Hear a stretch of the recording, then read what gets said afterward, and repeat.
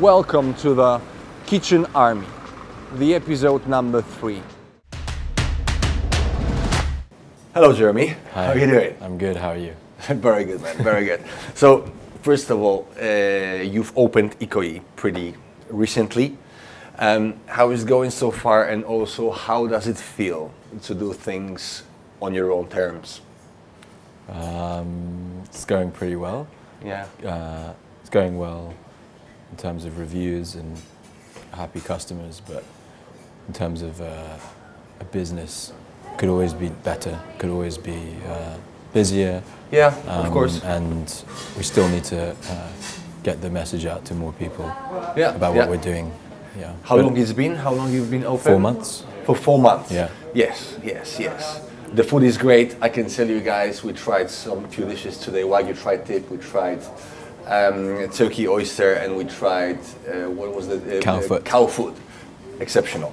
Um, now, obviously, you're having to deal with multiple uh, skills. So, how do you balance between creativity, passion for food and cooking, and running, the Mm-hmm. Running a business. restaurant? And which part of running the restaurant is most, most challenging for you? So there's two very polar opposites of the brain. Yeah. Um, and I think when one is like in control and like fully active, the other one just completely goes to waste. So usually, That's how I feel, man. Yeah. Okay. Tell me about it. Tell me. so it'll usually be like two weeks of intense focus just on uh, creating things, and a lot of pressure will be placed onto that. And then Ire, who's my partner, business partner, can you know supports and he, he handles a lot of the operations and Right. business. So Right. and then when the menu is in a really really good place, then take a step back and then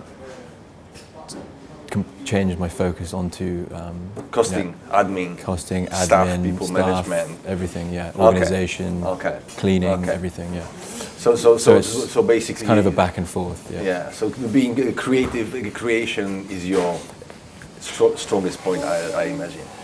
Yeah, I, I, but I like both as well. I like the organizational side as well. Yes. I like, um, Yes. you know, Yes. getting the site, you know, hunting for the space and um, Sure. pushing the marketing and the PR. Yeah, That's. It's all exciting. I'm involved in all in that for as yourself. well. Yeah, Yeah, yeah. exactly. But it's a very different way of thinking. You got no one really to, to, to like fully back you up. But No, but I like that though. Yeah, yeah, Yeah. It gives you the buzz. Yeah, exactly. Amazing. Um, and now uh, your career has been changed completely. So you've worked in uh, renewable energies, you studied history of languages, philosophy. Now you're running a restaurant. I'd like you to uh, give a best tip for someone who's stuck at their job, want to move on, they're unsure what to do to be fulfilled in life. I think I would only recommend leaving that job if you had a very strong passion and clear idea of what you wanted to do. Right. I guess the reality of leaving a good job to pursue something else um, works when you have a, an exit plan. Yes. But without an exit plan, it can be quite struggling. And Yes. speaking from some experience, when I left my job, I That was around yeah. six years ago. Yeah, I was working, um, doing internships and working for much less money than I had in my previous job, and Yeah. had to make a lot of lifestyle adjustments and you know, had to completely change my lifestyle in order to follow Your what it was I wanted to do. Yeah. With no, um, with no uh, sign of any kind of success or opportunity. Because you didn't know, me. you didn't know Well, I knew I wanted to cook, but I no, nothing was handed to me. You knew, all. you knew that like that's the direction, but Yeah. you were unsure. And there's a it would happen. so I guess you have to be prepared. My advice is to be prepared for be, to be like swimming in an ocean of doubt and risk.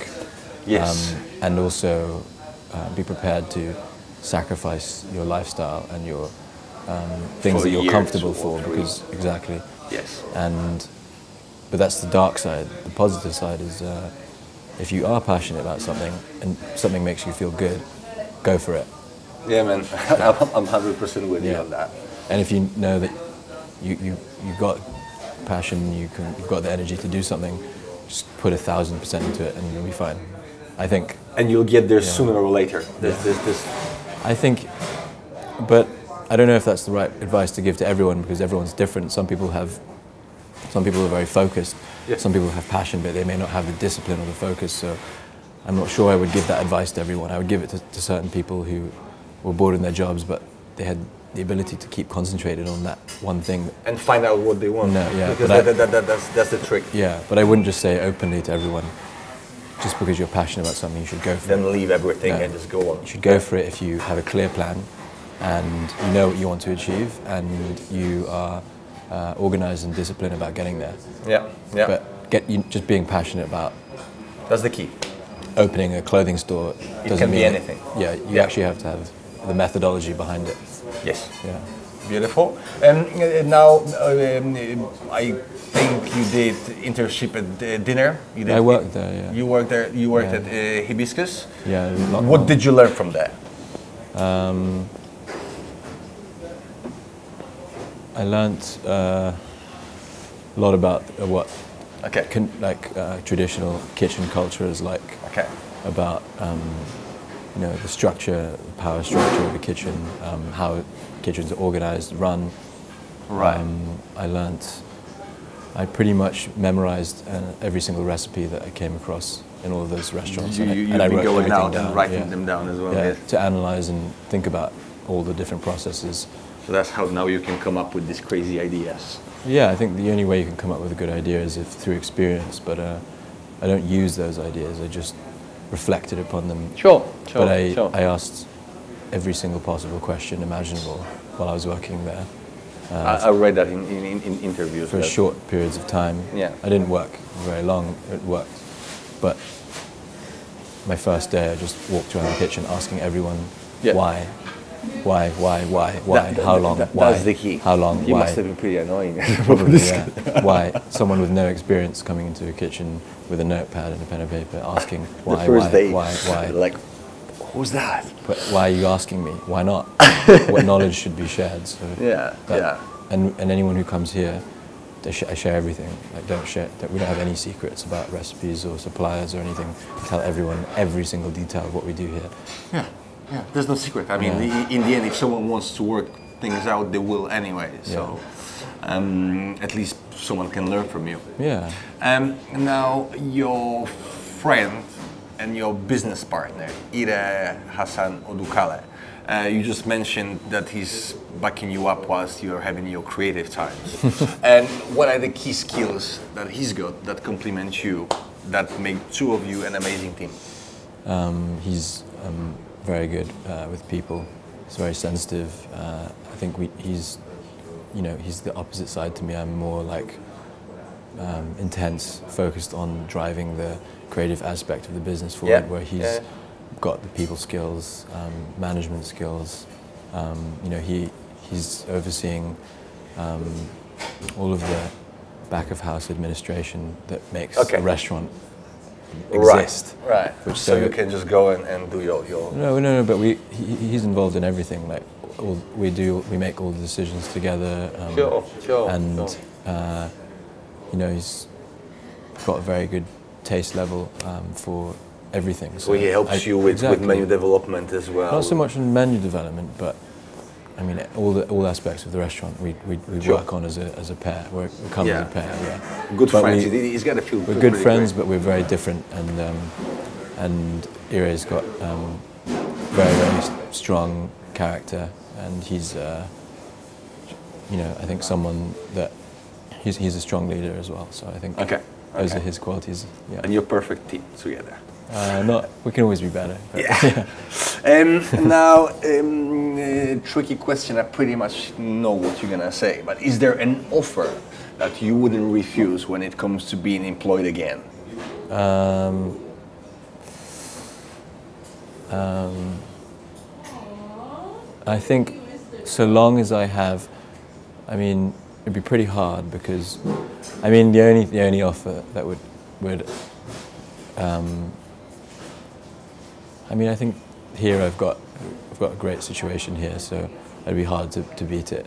Um, so yeah. You gotta come up with something serious. Yeah, I've got a great thing going here because I've got such an amazing team. Yeah, I love yeah. everyone that I work Yeah, with, yeah. and I can pretty much basically, this restaurant allows me to be uh, to be like totally like um, in complete control over.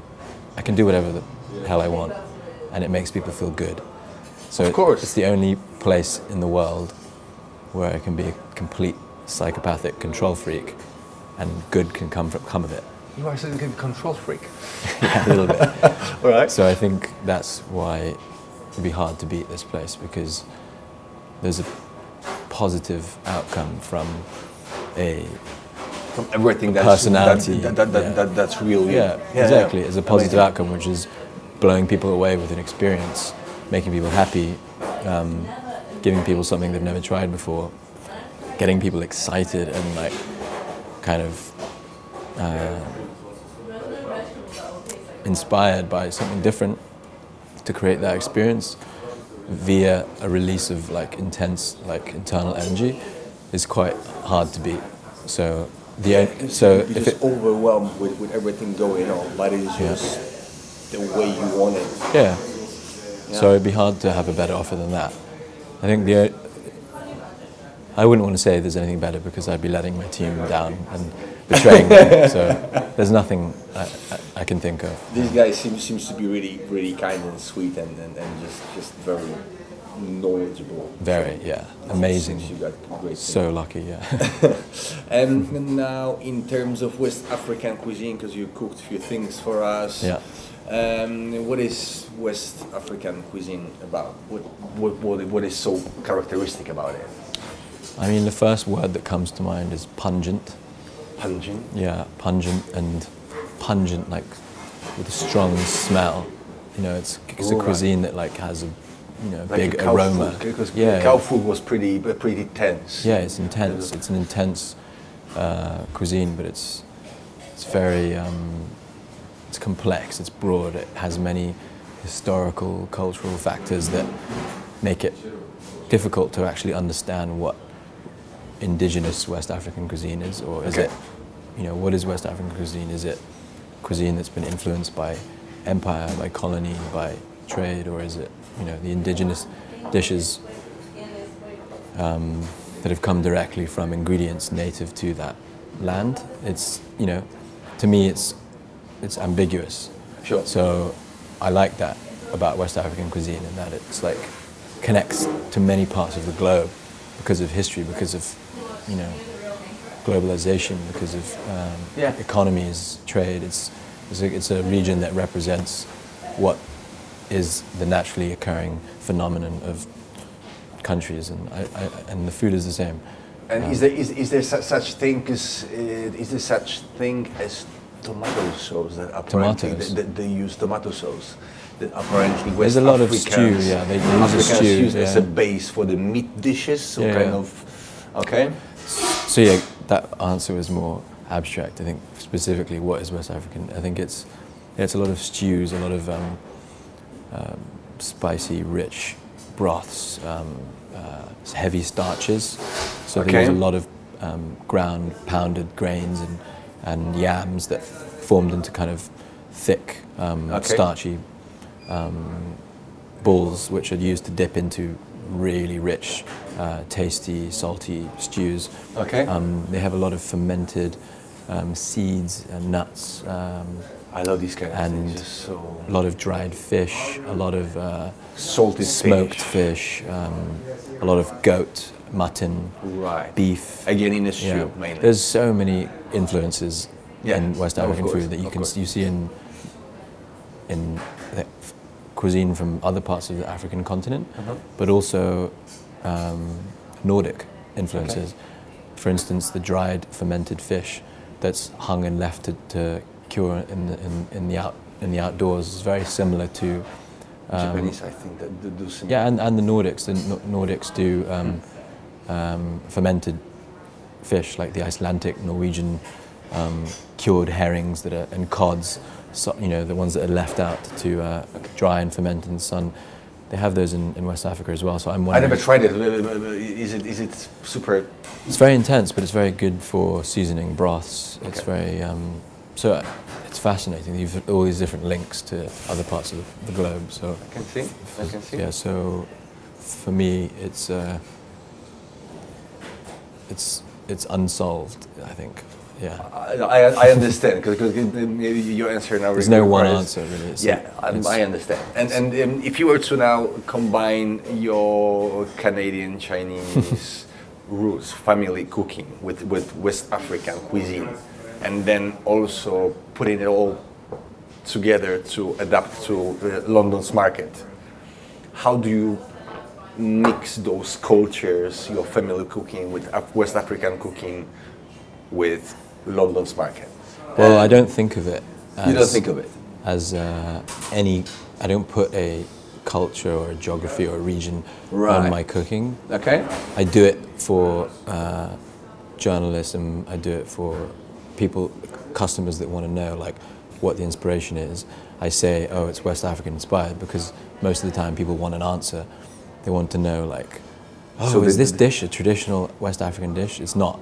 Nothing on the menu exists anywhere on the planet. It's all. Right. It's just it's totally from inside.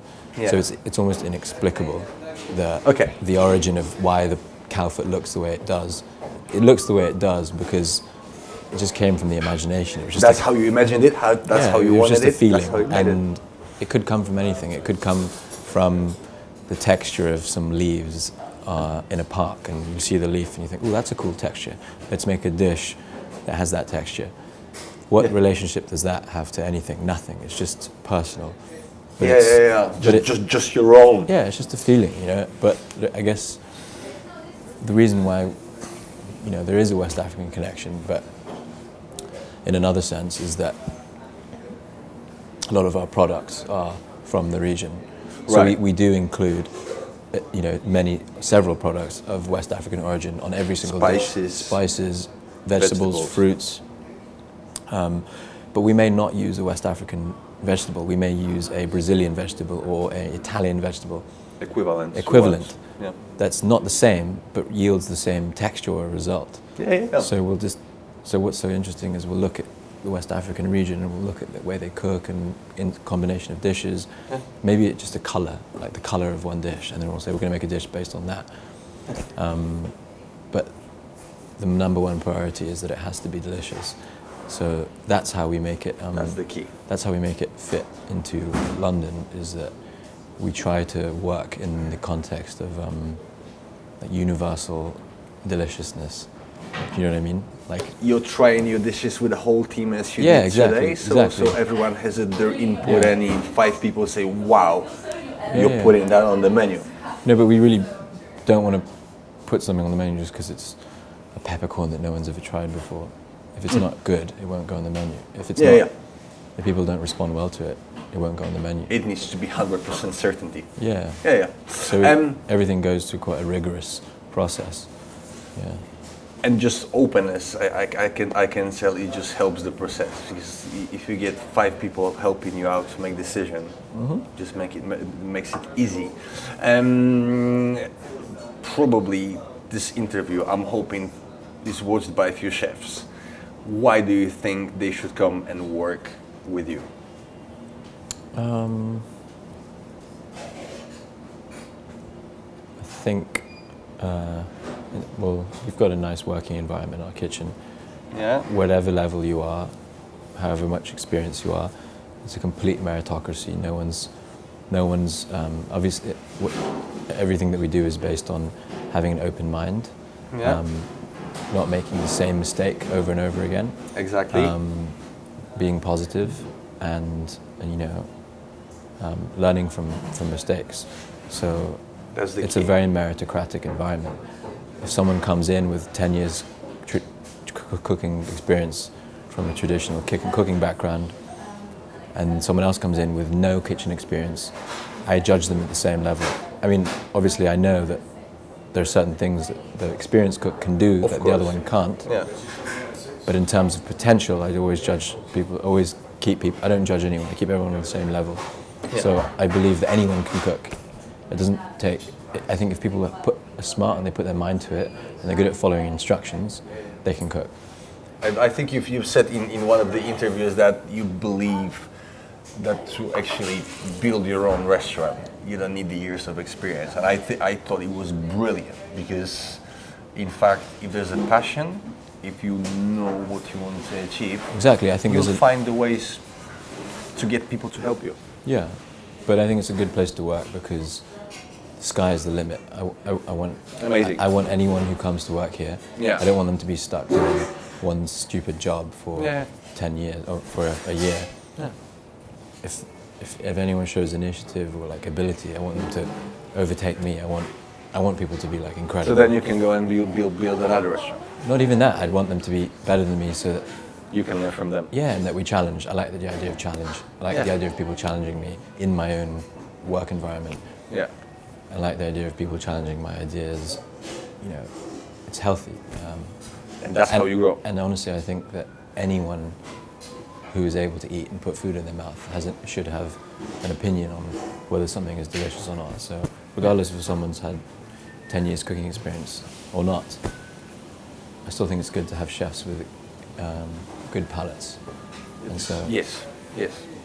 may, they may have the right experience, but they may not know what works. And An experience may, might be technical, they may not be very creative, etc. Exactly. So, but I mean, of course, we love having chefs with great experience as well. But what I'm trying, bottom line, I'm trying to say is, of course.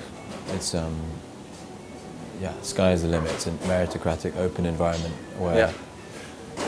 If you guys heard what, what uh, Jeremy said, come and give it a try. If he's got any spaces in his kitchen, he's a great guy. The food is amazing. The team is great as far as I've seen uh, today. Thank you very much for watching. Uh, thank you, Jeremy. Thank you.